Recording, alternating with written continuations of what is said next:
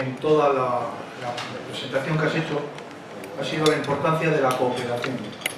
La importancia, entiendo, de las relaciones de la sociedad civil y con la administración, con la universidad, con todo el ¿Cómo nos ves en el País Vasco en esos términos de cooperación?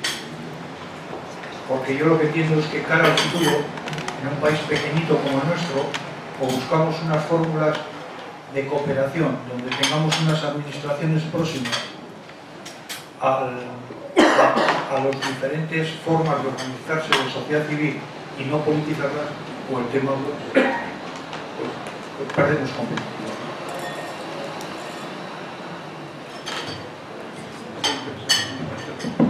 Sí, me acuerdo nada más sobre la pregunta, la reflexión que me hizo viaje que hicimos a Noruega había un, periodista del país y me decía, viendo la experiencia en Noruega y después de, aprender un poco de la enseñanza, me decía, vosotros en Euskadi lo tenéis, tenéis fenomenal, porque esto, eh, no sé, por, razones de cultura, por tamaño, lo tenéis que, vamos, fácil, y, yo creo que no. Yo creo, antes me he referido a algunos aspectos de la cultura, de la cultura política y de las dificultades de la cultura política, que no son menores porque es un nivel muy importante. La definición de, instituciones en los tres planos que he hablado, valores, marco institucional y políticas. Y ahí, sinceramente, las cosas son, son muy mal. Esas estrategias de toma y daca y de engañar y de decepcionar al, contrario son una realidad, a pesar de que tenemos un juego que llevamos jugando como actores por lo menos 30 años. Eh, en otros planos, eh, tú te refieres a la cooperación pública-privada. Yo, en mi experiencia en el ámbito de industria, eh, fue igual mucho más gratificante porque creo que en el ámbito de las políticas del gobierno, con las empresas y con la sociedad, y las redes de actores y de intereses que se tejen las políticas funcionan de otra manera completamente distinta.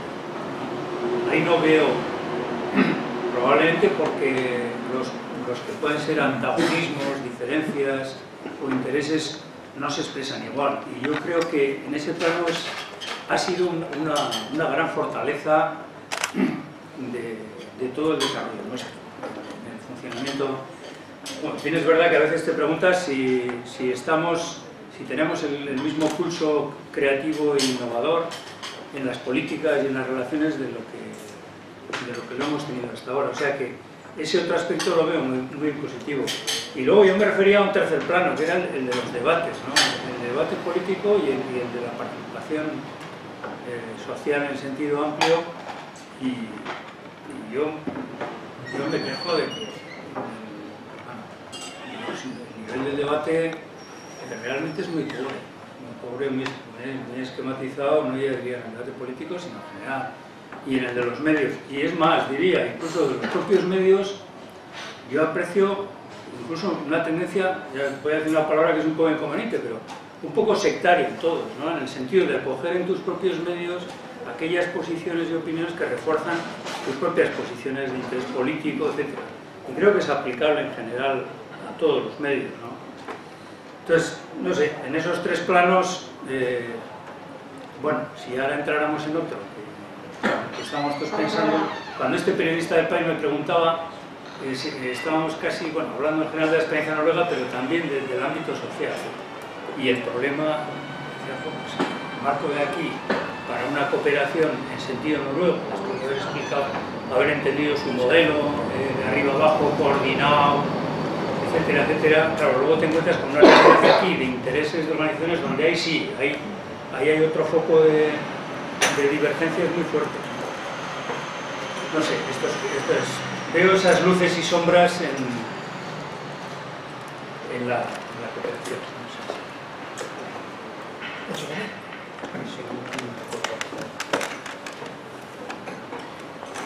Sí, buenas tardes. Está, está. No, abajo. abajo.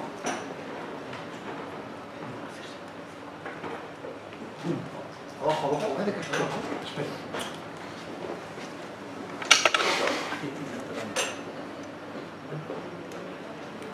Ah. Sí, mira, buenas tardes. Es una pregunta era un poco las condiciones sociales. Todos comentaban la importancia que era un comportamiento personal, hábitos sociales, colaborativo con una base social para permitir el desarrollo. Pero ¿qué pasa con el sistema? El sistema que tenemos nos permite crear nuevo de desarrollo evolucionar. El sistema de separación de poderes, listas cerradas. No necesitamos un nuevo sistema en este cambio. El sistema se nos ha quedado ya anticuado. No se llega a la primera canción. Yo estoy de acuerdo en el cambio personal, pero las personas con sus valores, muchísimo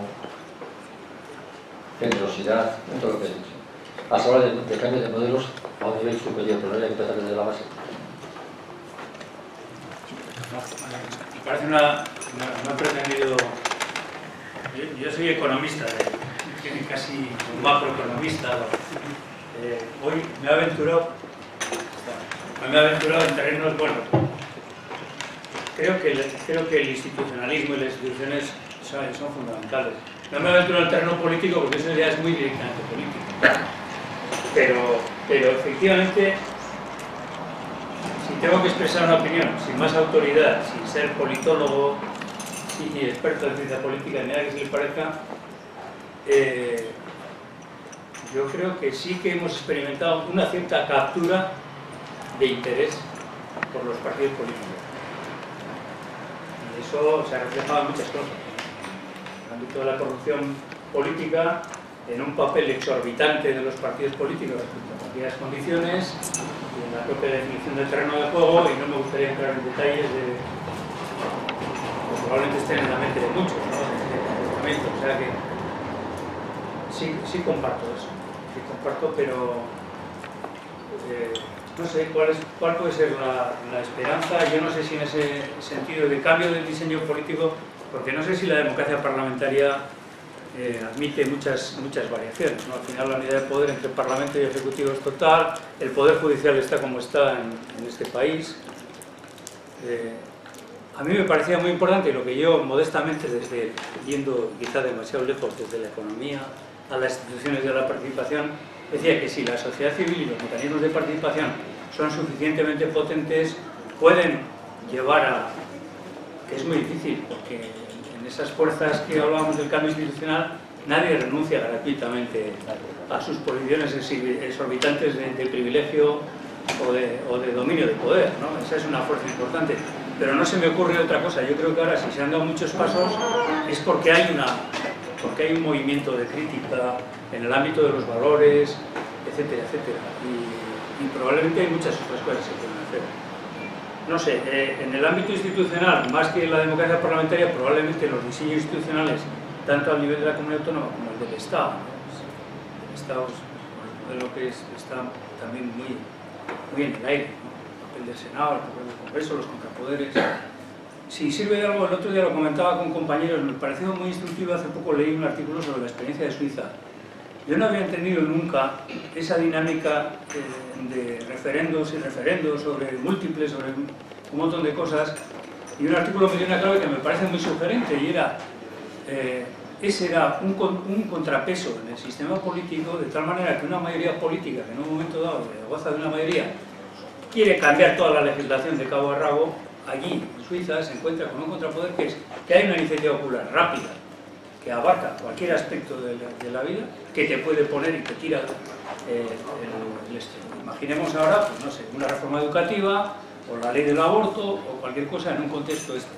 No sé, no, no digo por copiar, porque otra vez lo de copiar nunca es buena idea, pero lo de, pero lo de aprender de experiencia ajena sí, y la experiencia en este caso te indica que, que ese sistema de contrapoderes puede ser un freno para desarrollar una estrategia institucional que sea vamos a cambiar, pero, pero en un clima de, de cooperación, de evolución, de estabilidad. No sé, ¿qué es lo que se me, se? Alberto, mucho, somos del pueblo, entonces... Oye, dos preguntas, están relacionadas, ¿eh? Y vamos sobre de la parte que has estado haciendo referencia al crecimiento económico. Más concretamente, a la curva financiera de desarrollo. No lo podido ver bien porque además de ser miope tenía una herramienta y los gráficos lo veía bien, pero he tomado unos números que creo que están bien. Más o menos has venido a decir, y he apuntado que se requiere 1,8 dólares financieros para un dólar de crecimiento. ¿Eso es cierto? ¿O he tenido otro? Mira, el gráfico lo que reflejaba era el crédito del sistema bancario respecto al Producto Interior Bruto, ambos en términos nominales. Créditos en los balances del sistema bancario sobre el Producto Interior Bruto en términos corrientes. Situación al principio, 50 eh, unidades, euros, lo que fuera, de crédito para una generación eh, de PIB. Al final del periodo creo que las cifras eran 120, 130.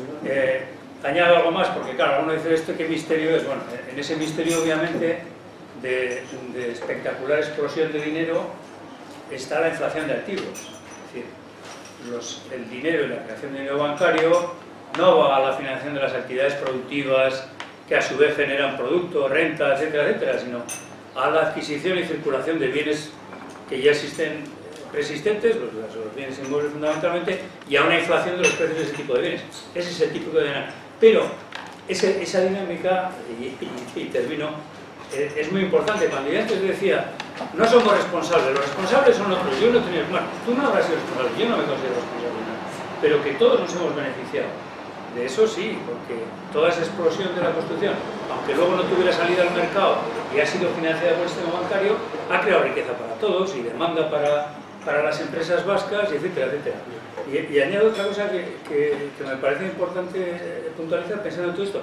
Relaciones del País Vasco con España, por ejemplo, eh, me, ha, ha llamado la atención últimamente que he analizado, en los últimos cinco años ha cambiado drásticamente el balance comercial que tenemos con, el resto del Estado.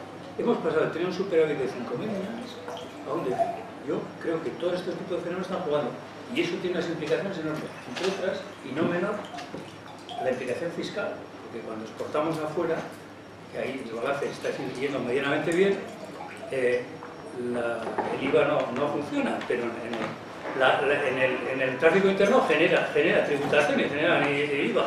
Por lo tanto, estás perdiendo y invirtiendo un saldo, estas son las estadísticas. Bueno, me he extendido un poco, pero No, pero claro, es que yo quería preguntar más concreto. Claro, si nosotros necesitamos un uno con algo, solo, solo. necesitamos un uno con algo, un uno con ocho tomado yo, de eh, dinero para conseguir un punto de crecimiento, esto quiere decir de forma unívoca y sin ninguna contradicción que necesitamos crecer endeudando. No tenemos posibilidad de hacer un crecimiento por renta propia, lo cual nos lleva a un callejón complicado. Es decir, complicado salvo que necesitamos moneda, caso de Inglaterra, Japón o Estados Unidos. Eh, Entre los datos, ¿eh? Lo que digo yo. Sí, Eh, punto, y aquí, y aquí lo cierro y... sí. Pero a mí me ha dejado muy nervioso, digo, "Joder, más, ayuda, No. todavía, más, más ayuda a la tropa que viene, o sea, yo soy mayor, sea, que pagarán otros, pero bueno. No, no, no, no es así. Pero bueno, No, no o sea, sé, no sé si... Escucha, no, no, y segunda, segunda, relacionado con esto, es que me ha olvidado. Sí. Claro, ahora hay una gran discusión, una gran discusión sobre todo a nivel de la Unión Europea y a nivel del Estado, ¿no? Sí. ¿Cómo andamos con lo que se llama el gap del PIB? Es decir, Ah, sí. Es la cuestión de la que depende, en términos clásicos, el empleo. Si nosotros tenemos eh, que nuestro PIB está al 100%, es la tesis que tiene algunos, la posibilidad de encontrar empleo serían muy remotas. Si nos encontramos debajo del potencial máximo, podemos crecer. ¿Cómo está eso en Euskadi? como? Esa. Eh, vuelvo sobre la primera, igual no, no me he explicado bien. ¿eh? No, no, no, precisamente trataba de dar la clave. ¿Cómo es posible que tú te- necesites más del doble de, de financiación crediticia para generar el mismo Producto Interior Bruto? Porque gran parte de, ese- de esa financiación crediticia se dedica a especular con activos preexistentes y supone incremento de precios. Cuando la inflación es de activos existentes, le llamamos riqueza. Cuando es de la otra, decimos que no. No, eso es lo que pasaba. No, pero eso no, no significa un trauma. Yo he apuntado, y ese es otro tema importante, que el, el sistema bancario no está constreñido. La gente cree que, las- que los bancos prestan el dinero que los depositantes dejan el banco y eso es una profunda es, profundamente falso. Los bancos, no, no, no, no es así. No. Ya sé que es una cosa, eh, esto, pero, pero créeme, seguramente se sitio porque, porque sabe de, de, qué hablamos. Eh, no, quiere decirse, no, los bancos crean los depósitos cuando prestan dinero a la gente. Los bancos crean de la nada el dinero. Ese es el privilegio de la banca. Ahora es un tema que incluso se está discutiendo. En Estados Unidos hay una corriente, y el Reino Unido también, que pretenden, se llama el grupo de Chicago, que pretenden revertir todo eso y, y, y cambiar a un sistema de reservas que pero, pero me extendería y me, me desvío de, de, la atención. Que a mí no me parece mal. No, no pero, pero vuelvo a lo otro. Dicho, ¿eh? Entonces, Pedro, tu, tu sí, pregunta... Sí, sí, pero no, no, me parece mal. Prefiero eso a lo Basilea 3, ¿eh? No, la, la, la pregunta es otra. Eh, ¿Estamos constreñidos por ahí? No, yo he dicho, estamos constreñidos por el capital. Estamos constreñidos por el capital. Los requerimientos de capital avanzan a marchas forzadas, les van a pedir mucho más, eh, la calidad de los activos es muy dudosa, es muy grande, el negocio no genera endógenamente recursos, eh, etc. Aquí entramos en un terreno vidrioso que estos días también está revoloteando por ahí. Pero yo me y me mojo ahí y digo, no, tú no, nadie dice que no, que no tiene capital, todo el mundo le sobra, pero luego no te dan crédito. Incluso hasta tú puedes tener la experiencia ya, y en esto es la introspección personal, que te puede decir a uno, no, mire, eh, ¿por qué no me das un crédito? No? El, el 1,5 sobre el, sobre el Euribor, el 2, eh, con unas garantías de un cliente excepcional. No, no, es que no me interesa, eso me lo han dicho a mí. no me interesa. ¿Por qué? Pues porque usted tiene un problema. Si usted no, no quiere dar crédito a un cliente solvente, con, con un margen eh, más que suficiente, el problema es que usted no tiene capital. No tiene capital y no puede expandir su balance. Entonces, esto es algo que todo el mundo lo silencia. Y en Europa todavía está pendiente de las pruebas de las nuevas pruebas del Banco Central Europeo, y entre nosotros pues ocurre igual, y en esto pues todo el mundo miente lo que puede. ¿no? Entonces yo cuando decía, dice, bueno, algunos de disparates dicen hay que capitalizar la banca, y ahora ya entro ya sin, esto al siguiente tema, es decir, no, es que nuestro, nuestro viejo sistema de cajas eh, no, tiene que entrar capital privado para mantener la obra social. Yo no sé si el capital privado de nadie va a entrar para mantener la obra social, salvo que seamos los de aquí, que somos filántropos o, personas de, de, buenos sentimientos, pero el capital no entra para eso. Bueno, por lo tanto, desde el punto de vista de la financiación no hay requerimiento. Lo que yo he querido decir cuando, eh, cuando hablo de sostenibilidad, el fin de la financiarización es que la respiración asistida del sistema se acaba. Bueno, se acaba o no se acaba. Porque si tú ves lo que está pasando en el Reino Unido es que va a crecer mucho porque tienen otra vez una burbuja inmobiliaria que ha sido propiciada por el poder político. Como dicen los británicos, no les gusta nada más que la especulación inmobiliaria les pierde, más que a nosotros todavía. ¿no? Entonces, bueno, y el, y el, gobierno conservador está muy a gusto en eso, y esto, joder, vuelvo a lo de las, la Mandeville, esto, joder, alimentar, era la, la fábula de las abejas, ¿no? Esto era el inmobiliario, y eso es lo que a nosotros aquí en parte también nos ha unido. O sea, la economía está restringida por el lado de la financiación por el capital. Si yo digo, si hace falta capital, que se diga, y si hay que, poner capital en Cuchabán o donde sea, la banca privada ya se encargará de hacerlo, porque acudirá a los mercados. El otro modelo me dice, no, eh, pues esto se convierte en entidad privada. Bueno, ¿una entidad privada va a tener interés en mantener la obra social? Por favor. No, no, no sé. No va a ser un accionista de otra Por lo tanto, ese, ese, ese terreno, los dos mensajes eh, en el ámbito de, de la de la financiación son esos. El, el segundo punto... Otra, otra, si la otra era el tema famoso del gap del peine. Decir, el gap, bueno, hoy podría haber extendido con ya, esas cosas. Pensaba, Sí, ¿esperabas eso? Sí. Pues he estado por debajo de las expectativas.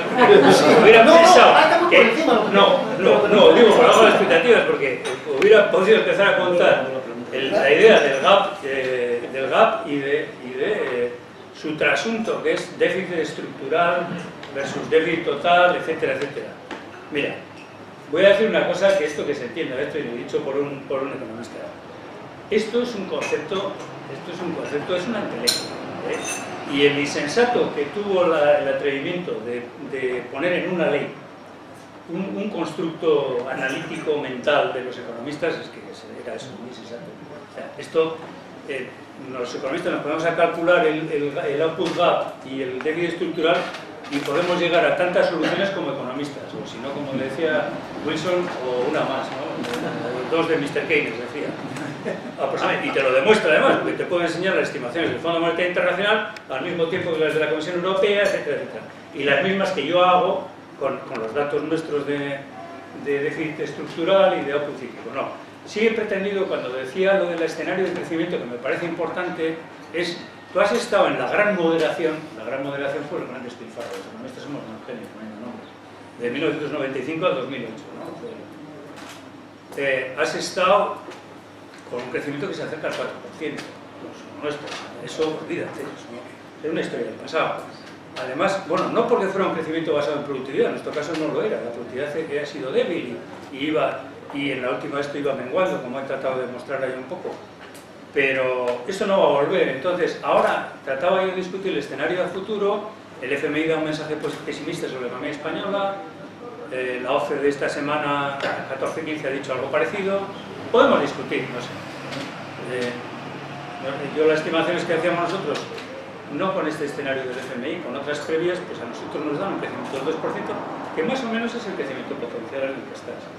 Con esas tasas de crecimiento, eh, y vamos ya a lo que importa, ¿qué consecuencias tienen desde el punto de vista de las finanzas públicas, qué capacidad de generación de recaudación? Pues, pues es complicado, porque es muy limitado. Y, precisamente por eso me refería ahora al cambio que ha habido en los flujos de comercio, que a mí me parece un hecho revelador, ¿no?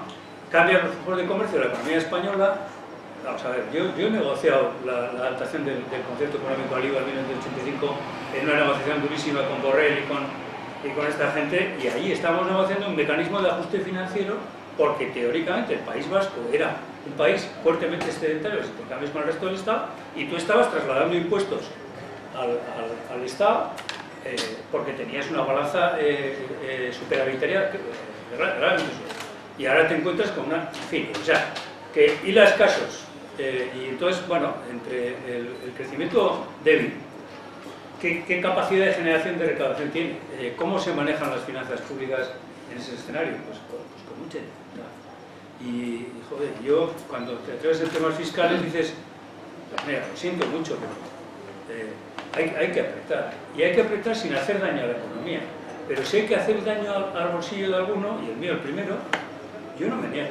Y voy a poner un ejemplo por ser directo, claro, y, esto. Por ejemplo, el tema eh, de las, de las eh, desgrabaciones a la previsión social. esto no tiene parangón en el mundo. Parangón. Te encontrarás sistemas con variantes, tal. Poco sale de la revista Economía sobre previsión social complementaria. Analiza la gente del mundo del sector. Yo participo en mi comisión personal y es, es por ejemplo, yo estoy perdiendo, y sí, sí, es un gasto fiscal eh, dirigido a, segmentos altos de, renta, ineficiente, que no está consiguiendo los objetivos que se proponen, etc. es un ejemplo. Presión fiscal, pues habrá que hacer presión fiscal. De hecho, la presión fiscal que tenemos en, términos directos en renta es muy inferior. Es muy inferior a la de y el Partido Popular, como es bien sabido, cuando llega al gobierno, contra sorpresa, no hay nada que más divierta que cuando un partido toma medidas que son supuestamente contrarias a su, espíritu y a su ideología, ¿no? Pero hizo una reforma fiscal que era más, eh, más eh, profunda que la de Guipúzcoa, era eso que se comentó en su momento, y era una realidad. Entonces, bueno, una cosa lleva a la otra, pero la próxima vez traeré el output gap y el esto, pero te digo una cosa, el output gap, y bueno, antes se habló de productividad total de los factores y todas estas cosas.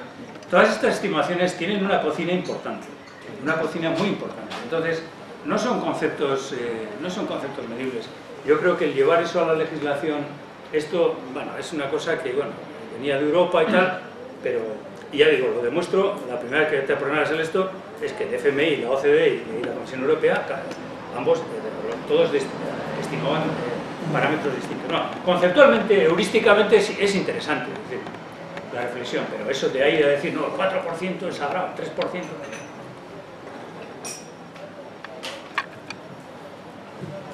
Eh, mientras eh, se decide alguien más, yo te paso. En, yo desde el punto de vista de la empresa, porque desde el punto de vista de la economía no entiendo y además observo que cada vez en la crisis de los 80, nuestro nivel salarial, nuestro coste hora, eh, era como un 15% menos que la media europea. Eh, hicimos una apuesta por la calidad, teníamos un autogobierno, hubo una serie de inversiones eh, exteriores aquí, eh, y bueno, y salimos adelante.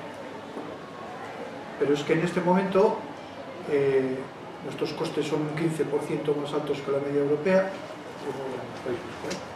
que la media europea, la calidad no es ya un tema suficiente, no es un elemento de competitividad suficiente y mucho menos frente a Europa y ya países como Corea, Japón y dentro de poco China pues tampoco ¿eh?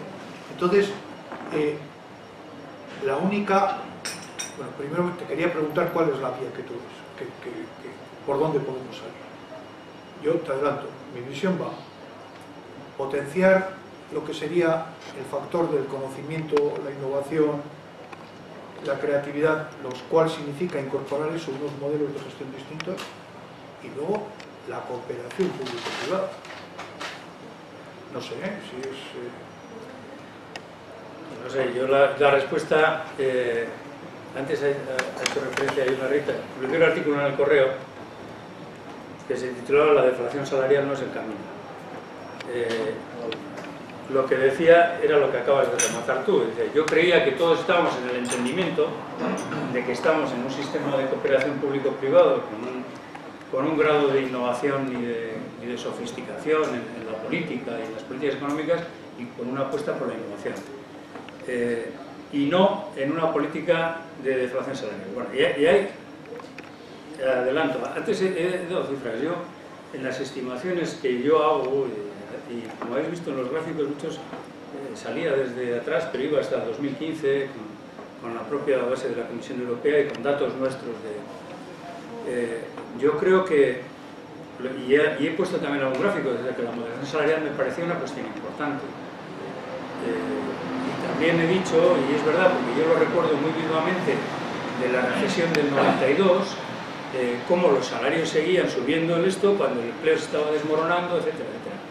O sea, por lo tanto, que ese acompasamiento eh, me parece necesario, pero lo de la inflación salarial, incluso la paradoja es, que es lo que, lo que yo he tratado de sostener, aunque me gustaría eh, analizar eso con más profundidad en el futuro, era que eh, eso a nosotros, mmm, bueno, hasta nos podría venir medio bien, pero a la economía española no. Estoy convencido de ello. Estoy convencido por una razón, porque la economía española tiene un sector industrial muy pequeño, muy pequeño, del 10%. Entonces, eh, en, los análisis económicos y en, la teoría se distinguen, se, distinguen dos modelos. Dice, una economía dirigida por los beneficios o una economía dirigida por los salarios. Probablemente el debate es muy complejo porque los efectos son múltiples y se pierden pero una economía pequeña como la nuestra, muy volcada al exterior, con sector público, eh, sector eh, industrial importante, el tema salarial es importante para ser competitivo. Más que en España, donde tiene un 10% de sector industrial, que encima, bueno, está compitiendo, pues es, ¿qué está compitiendo? Bueno, aparte de nuestras empresas, algunas otras por ahí, pero no tiene mucha... Eh, bueno, quiero decir que este, este debate está ahí. Por lo tanto, claro, yo antes también me refería a lo de la reforma laboral y el esto, pues hay, hay, hay cosas que no funcionaban bien en, el, en el, mecanismo de formación de precios y salarios. Pues es que hemos estado dormidos. Se ingresa en el euro 1999, sabes que no vas a poder hacer devaluaciones competitivas y estás en una carrera donde estás creciendo el doble de lo que dice la norma europea de precios cuando la zona euro va a seguir la norma y la siguió y la ha seguido, es decir, la norma de la zona euro eh, tiene un incremento de precios salarios en el entorno del 2% anual y en 10 años se coloca en el 22%. Alemania hace una política de empobrecer al vecino y de devaluación competitiva y sube el 11%. Y tú vas y te colocas en el 36%, en términos nominales. Esto es lo que estás mal. Aún así, vuelvo a, lo de los flujos de comercio anteriores. Hemos deteriorado la posición con el resto del Estado la tira, o sea, de 5.000 millones se han evaporado de, de superávit comercial. En el sector exterior, en el sector de la comercio internacional no estamos tan mal. Hemos recuperado los niveles de, de exportación de, previos a la, a la crisis. se ha aumentado mucho el saldo positivo de, la balanza comercial, no sé, todo se puede dar las vueltas, ¿no? Pero bueno, yo, lo que veo, la, que tú has acabado en tu reflexión es la, la, fortaleza que nosotros hemos tenido siempre. Eh, el modelo de, de, desarrollo, bueno, lo que decías, hombre, por supuesto de la, innovación, eso por supuesto. Pero claro, aquí estamos eh, incurriendo también en muchas contradicciones, ¿eh? y yo creo, hay una de las cosas, antes que hablábamos de la actualización del informe del Club de Roma de los 30 años después, una de las cosas que dicen al final de Don Amir se acaban diciendo de las reglas de, comportamiento desde alguna de decir la verdad. Me parece muy importante decir la. Me, parece muy importante. Y hay, eh, eh, no sé, quiero decir, decir la verdad también porque desde la esfera pública ahora estamos haciendo la innovación es posible, y pasa con todo el sector público, que el sector público necesitaba una cura de adelgazamiento, probablemente no hay ninguna duda. Pero yo lo que digo, igual hacía falta una operación acordeón, porque ha habido una reducción muy fuerte de los gastos de apoyo a la empresas. Eso es así. En, Madrid ha sido dramática desde el principio de gestión de la crisis, y aquí también se, se dejado sentir clarísimamente. Y otras inversiones, eso es así. Entonces me parece importante decir, cuáles son las restricciones y los límites del juego, porque de lo contrario, todos estamos haciendo marketing, decir la verdad. Y otras cosas.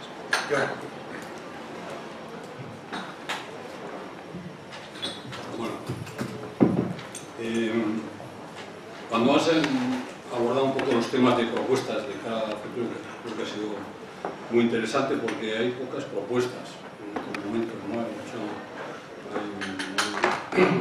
sentimiento de tristeza sobre lo que nos está pasando, de tal, de crítica y tal, pero hay poca, poca propuesta ¿no? para, para salir. Pues hecho una batería de propuestas larga en muchos aspectos, en muchas zonas, ¿no? Eh, creo que es muy interesante que, que sean divulgadas. Has hecho una propuesta que tiene una crítica sobre autonomía financiera, bueno, se ha recortado autonomía financiera al adoptar la posición del déficit obligatorio respecto al Estado. Que como nuestra posición estructural en cuanto a endeudamiento no se correspondía con el endeudamiento medio del Estado, al aplicarle las condiciones europeas al Estado, nos han aplicado también las mismas condiciones al. Bueno, esto parece que ha sido poco, realmente reivindicado políticamente. La verdad es que nuestros parlamentarios no los he visto demasiado finos en este asunto. Eh, que no, se daban cuenta que eso tenía un reflejo evidente en, la, política económica que se pueda desarrollar, si fuese una política económica de, animación de la, demanda, de inversiones, de estimulación, etcétera, ¿no? tener un margen de endeudamiento mayor. Pero todavía es más eh, impresionante cuando encima de ese nivel de endeudamiento nos entramos el otro día que el gobierno vasco no, no lo ha utilizado a tope, sino que se ha quedado. Eso, eso yo diría no me parece más raro todavía, porque encima de que es poco no lo hemos utilizado, pues bueno, no lo entiendo muy bien los cálculos cómo andan con, esta cuestión. Si a base de ahorrar y pasar las facturas para el año siguiente se han pasado, creo yo, pero bueno, esta es una impresión personal, por alguna razón igual me ha tocado, pero no sé si ha pasado. Eh, pero claro, el, el, asunto también has planteado que hace falta una, una eh, ese nivel de endeudamiento, ¿a dónde va, a, dónde va a ir? ¿no? ¿A, qué se, va a dedicar nuestros presupuestos? Pero claro, si no hay un adelgazamiento de la estructura, como has planteado, ¿no? que has planteado la administración única, pues eso es para que le has dicho que Fraga lo propuso cuando es verdad, pero nadie lo ha recogido, ni nosotros tampoco. Eso significaría, en nuestro caso, entiendo, que todas las delegaciones de los, del gobierno vasco que son de Vizcaya y Guipúzcoa desaparecerían. Sería la Diputación la que ejercería esas funciones delegadas. Así de claro. Y todas las delegaciones que tiene la Diputación en los ayuntamientos desaparecerían. Serían los ayuntamientos los que tienen esas funciones delegadas. Eso todos nos damos cuenta del ahorro que supondría, impresionante. Aparte de la claridad para, para el ciudadano. Que dije que no sabe a qué inventaría tiene que ir en cada, en cada caso, ¿no? Pero esto ni, ni, ni se asoma, nadie dice nada de esto. Nadie dice, nadie dice. Aquí nuestro, nuestro consejero y tal de administraciones y tal, no lo digo decir nada de esto. historia, ¿no? Claro, si luego lo relacionas con la fiscalidad, dices, si vamos a aumentar la fiscalidad para mantener las ineficacias del sistema y para no utilizar ese exceso de fiscalidad que yo entiendo que en parte habría que también revisar, porque creo que según os principios buenos da democracia cristiana cada institución tiene que ser eh, responsable y tener sus propios recursos y utilizarlos, ¿no? con el principio de subsidiariedad, etcétera, etcétera.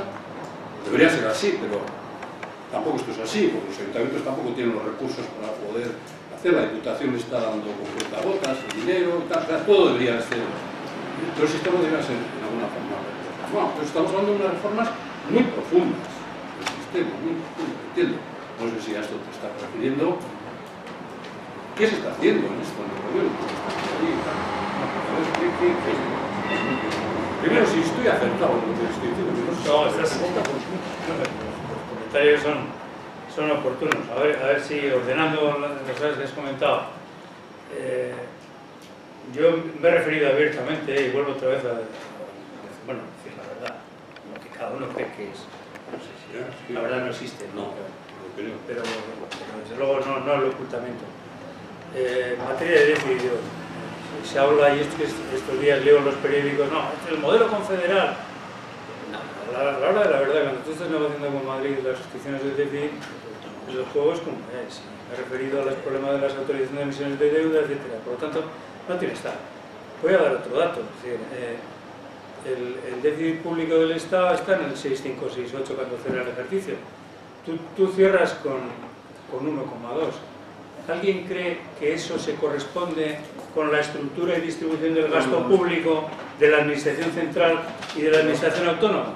Y los grados de responsabilidad que tiene cada uno, dejando si quieres la, la peculiaridad de la seguridad social como esté situada. Pues no, no lo tiene. ¿Por qué? Eso lo que, lo que revela son situaciones de poder.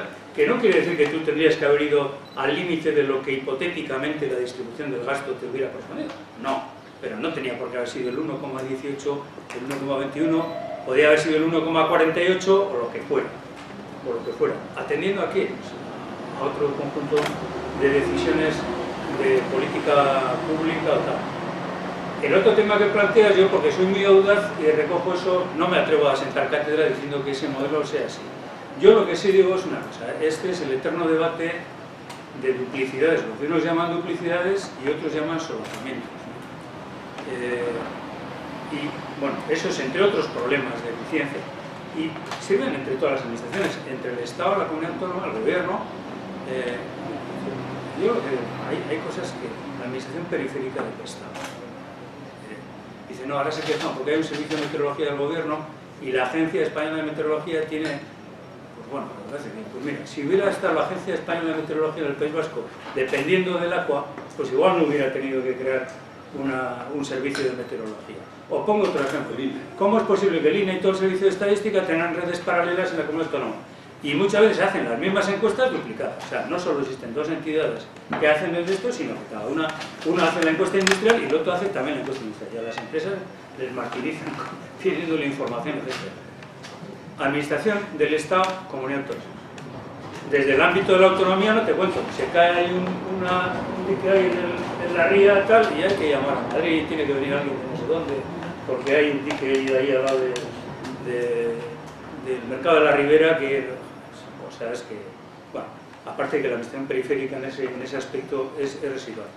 Yendo al otro tema, los puntos de confluencia con ciudades. Yo, eh, yo soy un gran, nada que ver con, con la idea de, yo defiendo los territorios históricos y por entre otras cosas porque creo que efectivamente lo mismo que en las relaciones de todos la normativa de las instituciones se tiene que adaptar a las preferencias de la gente y eso tiene un arraigo indudable.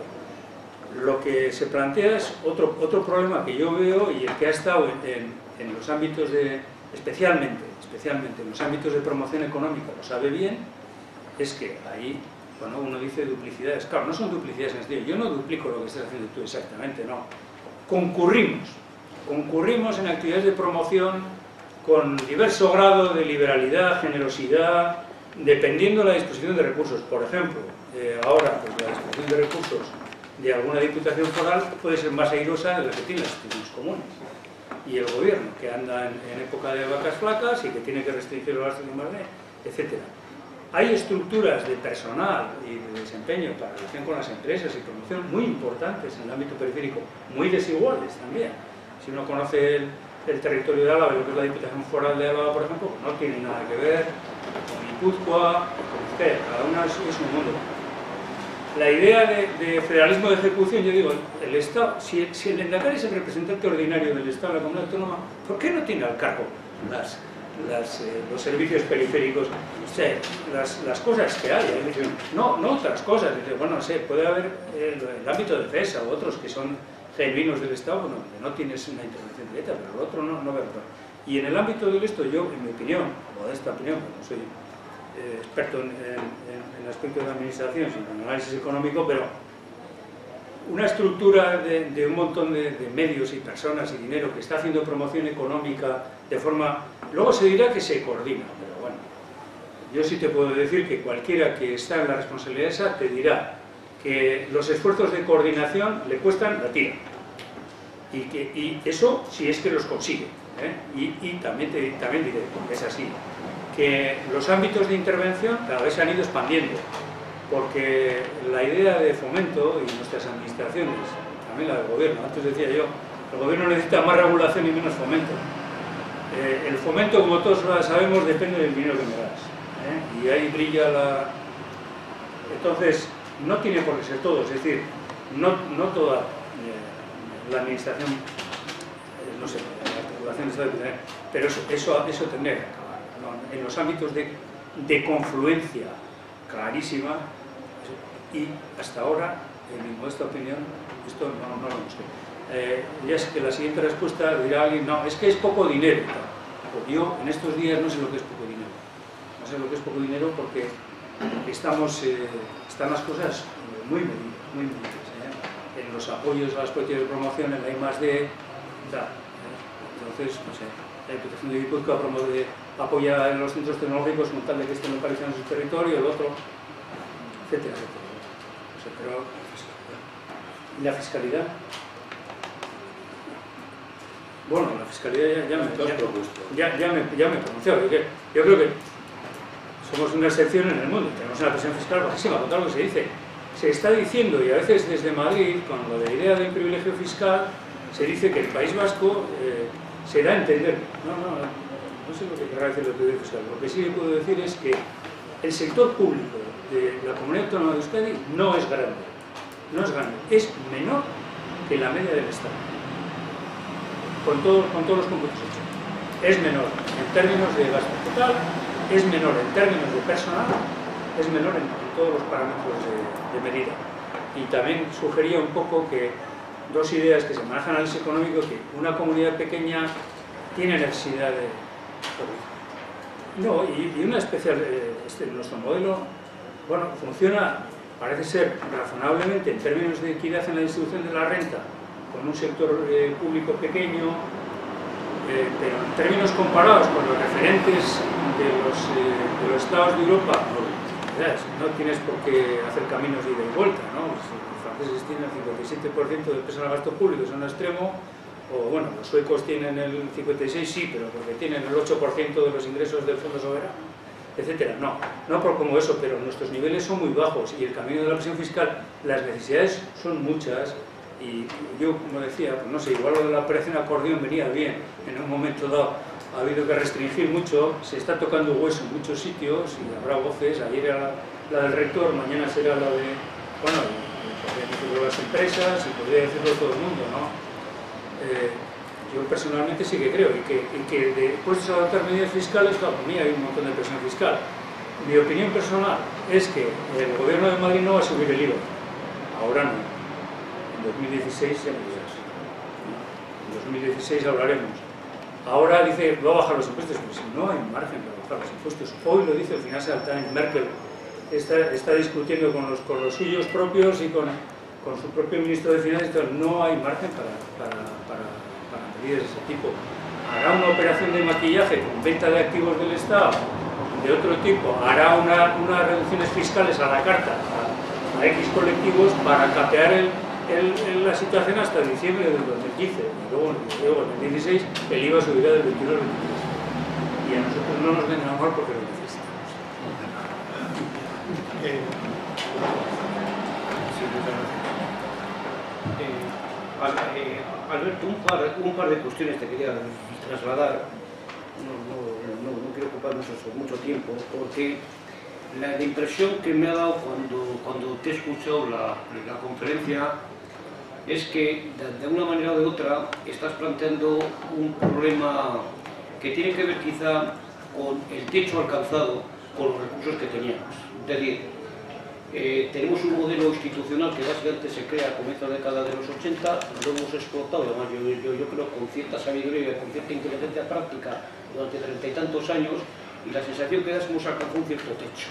Y la gran pregunta que surge, en gran parte auspiciado por la doble crisis estamos eh, padeciendo, en una parte tenemos una crisis, salimos del modelo industrial a un- al modelo que tiene que ver con la construcción de una sociedad ante el conocimiento y cuando no hemos superado todas las consecuencias que esta crisis tiene, eh, aparece la crisis de origen financiero, etcétera, que, bueno, pues, y ambas dos se acaban ciertamente uniendo sobre el espacio vasco, por supuesto, también sobre el espacio europeo, etcétera. Claro, y esto, pues, obviamente, replantea, eh, quizá de una manera más radical de que se hubiese replanteado en otro, otro momento, cuáles son el, el techo alcanzado. Pero yo creo que, que- que- que al final, de- detrás de todas las tesis que has intentado poner encima de la mesa del, del institucionalismo y de los institucionalistas y tal, y, y toda la filosofía pública, eh, hay dos cuestiones desde un punto de vista fundamentales a, a hacerse. ¿no? Y es que si estamos de acuerdo con un cierto diagnóstico general, este es otro problema, o sea, los, diagnósticos que sostienen nuestras, nuestras exposiciones o nuestras perspectivas, pero suponiendo que haya un diagnóstico más o menos acordado, que ese principio de cooperación al cual te has agarrado y que comparto, pues ciertamente tenga, tenga el éxito requerido, el diagnóstico, bueno, después de estos treinta y tantos años de desarrollo institucional, de un modelo claro institucional, ¿qué es lo que hemos aprendido? Porque a mí me, parece que la respuesta a la pregunta ¿qué es lo que hemos aprendido? es muy importante porque inmediatamente nos, lleva a una segunda cuestión, que era la que te quería sugerir. Bueno, ¿qué cuadro de oportunidades tenemos? Por ejemplo, por ejemplo, y me voy a referir estrictamente un caso que para mí, como sabéis lo que me conocéis, me- me preocupa mucho, ¿no?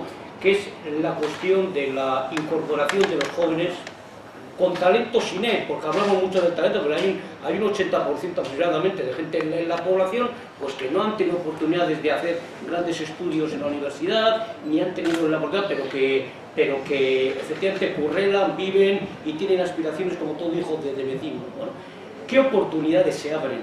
¿Y cuál sería nuestro cuadro de, de oportunidades? De- de- ¿Desde dónde volvemos a gestar un modelo que innova lo que fue innovado?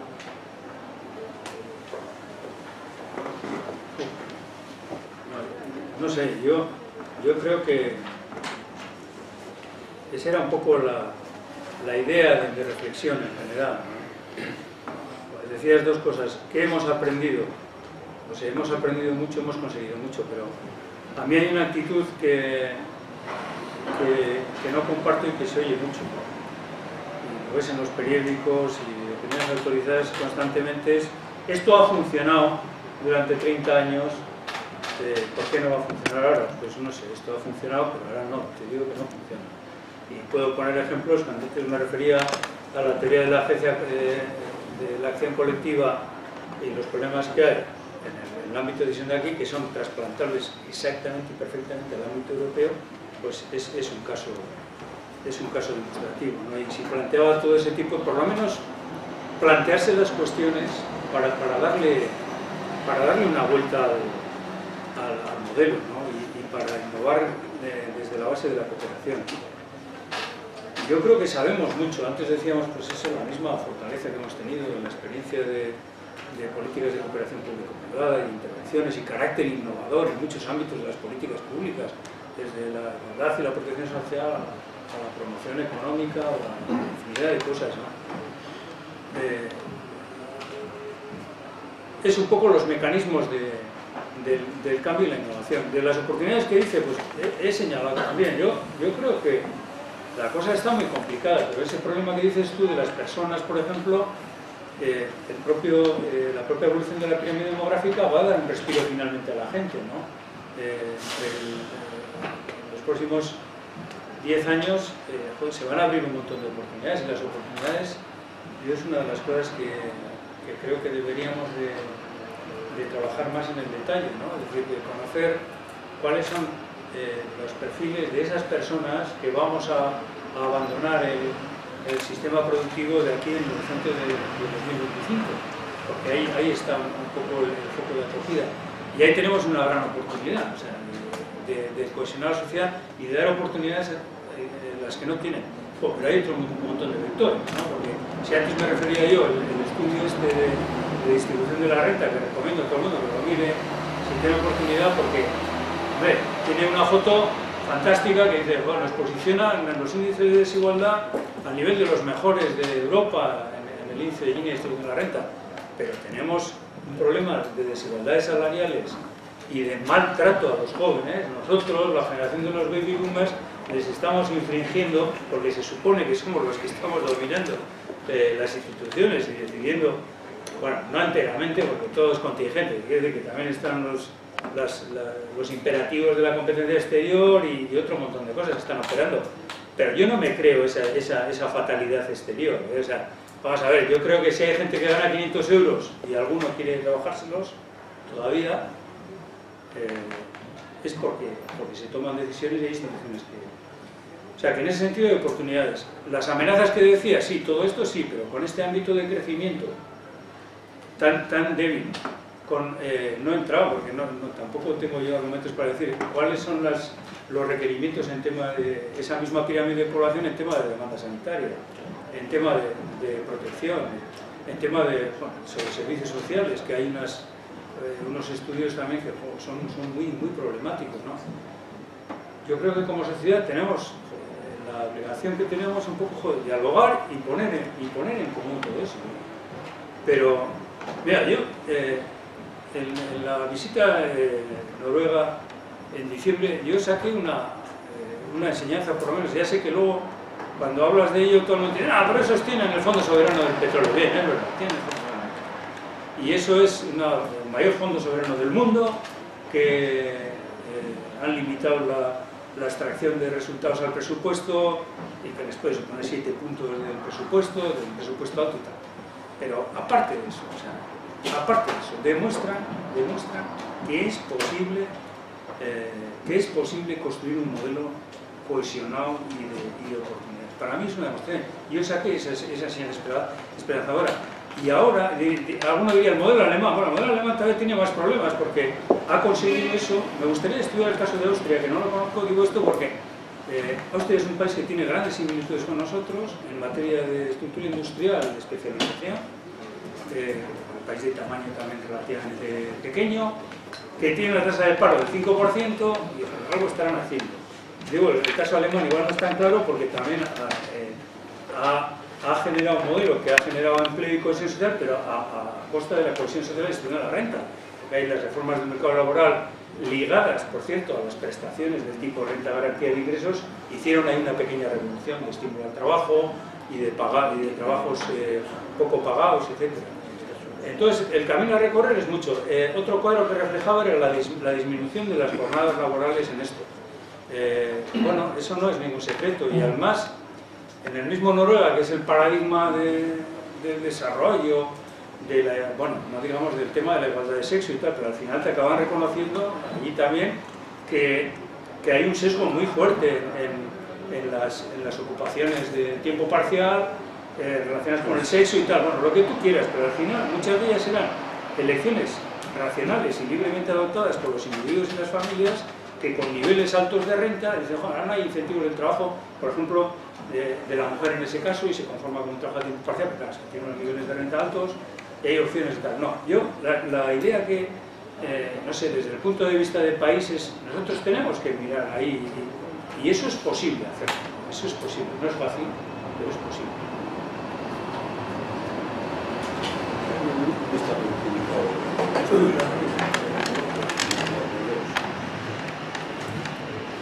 Habéis hablado de, de políticas de innovación y de ayudas, promoción y demás para innovación. Eh, yo quería hacer una, pregunta sobre la compra pública innovadora.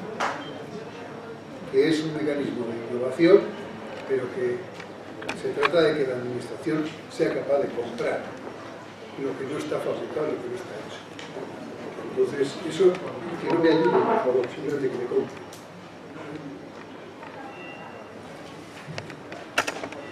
Ahí me tocas directamente, eso sí que es tuché, digo tuché porque, porque yo debo reconocer que en la etapa que yo, que yo estuve en el Departamento de Industria, Comercio y Turismo, eh, ese era un tema que estaba sobre la mesa. Y el problema de este tema es que sí que está sobre la mesa. Quiero decir que al final... No, sobre la mesa, sobre la mesa sí, pero sin articular eh, soluciones convincentes. No digo esto porque estoy hablando del periodo eh, hasta el 2009 eh, y eso no se articuló al final en, en, en una propuesta. Eh, me consta que sigue siendo un, un, un, un ámbito de preocupación, ¿no? ¿eh? bueno, no, no se ha sabido, no se ha sabido, es, es, es, es así. ¿no? no tengo el diagnóstico exacto de por qué eh, al final no ha habido capacidad de desarrollar eso, aunque hay datos también, y esto se comenta mucho internamente desde el punto de vista del gobierno, que tenemos, cuando uno abre las pantallas del antivirus es McAfee, ¿no? Sí, McAfee, ¿no? Puede haber sido un, convenio con Panda, pero si no me gusta este antivirus, ahora hacer un convenio porque desarrolles algo más, más sofisticado y más apropiado a la institución. No, no tengo, no tengo respuesta, quiero decir que se debería haber trabajado, pero hasta donde yo sé, eh, no, no, no, se le ha dado una respuesta. Una respuesta. Pero es una oportunidad. Siempre ha sido, siempre ha sido y ahora lo es también. Eh, ¿Algún tema más? Bueno, yo creo que solo nos queda agradecerle a Alberto la exposición tan completa que nos ha hecho y que sigas esos niveles de investigación que nos van a venir Un aplauso.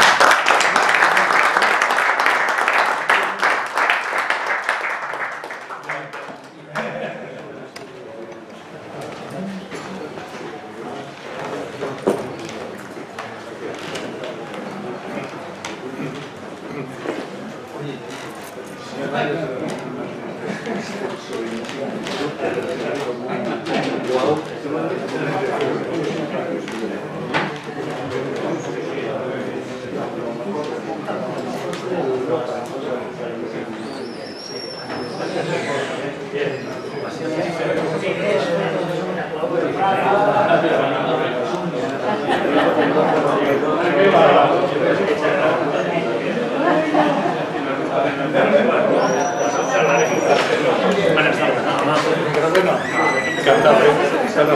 Eres un crack.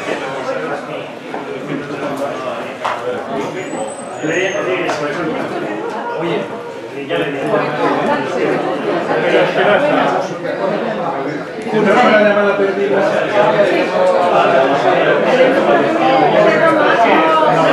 Oye, José Luis, tengo el placer de felicitarte oblicua felicitaros por el altísimo nivel que estáis imprimiendo a esta multinacional de la diseminación de productos. Gracias.